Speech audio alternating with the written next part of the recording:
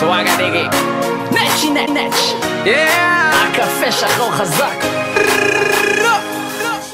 Shalom USY, this is Josh Beanstalker, International Israel Affairs Vice President.